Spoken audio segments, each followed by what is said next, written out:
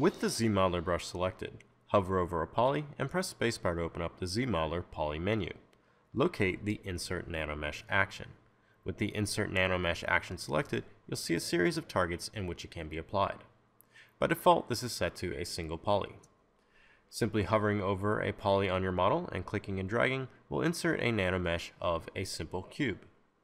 Undoing this process and then coming in and changing your target to something like flat island and then applying that to the surface of your model will apply the nanomesh across that target.